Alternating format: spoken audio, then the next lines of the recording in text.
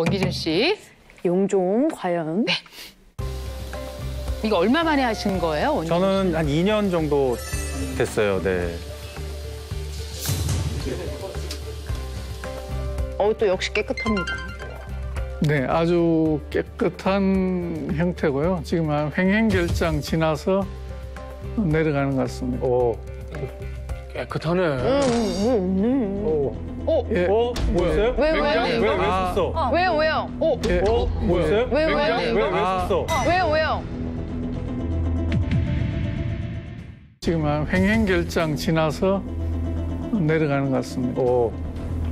깨끗하네. 음 뭐 없네. 오. 어, 예, 어? 뭐였어요? 왜, 왜? 왜, 왜 아. 썼어? 왜요 왜요? 어, 예, 어? 뭐였어요? 왜, 왜? 왜, 왜 아. 썼어? 왜요 왜요? 옆에 뭐다 내려와 있는 상태고요. 네. 어, 아주 정상입니다. 정상입니다. 정상입니다.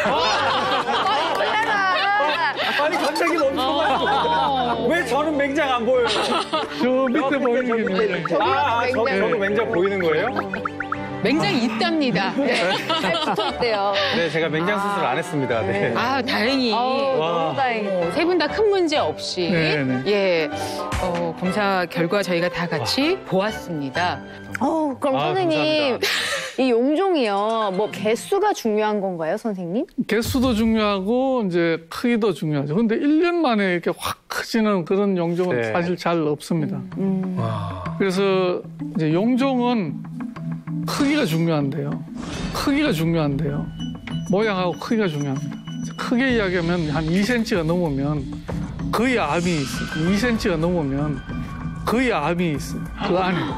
아 2cm. 그래서 1cm 같으면 조금 더 의심해 볼 수 있고 그래서 얼마나 깊이가 깊은지를 우리가 판단을 해서 추가적인 치료를 해야 될지 아니면 그냥 그 상태로 제거가 되면 치료가 되는 것인지 판단을 하게 되는 거죠. 네.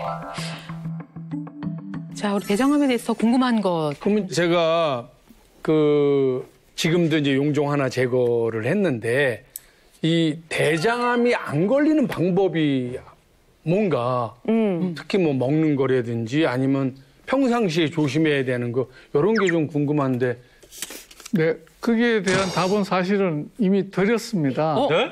이미 드렸습니다. 어? 네?